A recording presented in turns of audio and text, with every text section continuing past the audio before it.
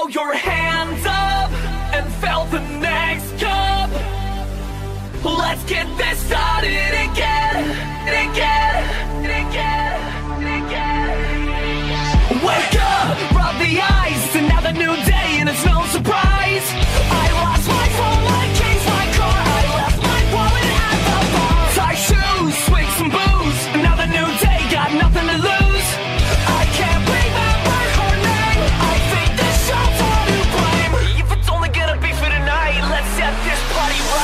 don't throw your head.